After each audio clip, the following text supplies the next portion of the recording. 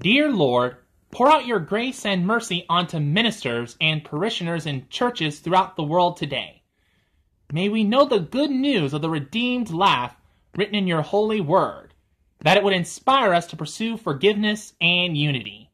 Amen.